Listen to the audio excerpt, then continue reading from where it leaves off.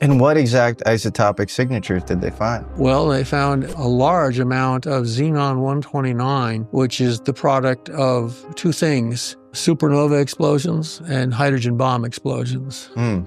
And we know there was no supernova on Mars. If there was, there, there wouldn't be a solar system here. And the, you said there was one other argon. When you irradiate rocks that have potassium in them, and all rocks do, they produce a uh, isotope called argon 40, and that's super abundant on Mars. So you have two things that are products of what look like an intense nuclear reaction on Mars in the atmosphere and they're both the residues of that remain in the atmosphere. They're stable and they last forever. But they also found what looked like archaeology on Mars. And that was the initially the most exciting thing. I only found out the significance of the isotopes on Mars from a staffer at Sandia Labs.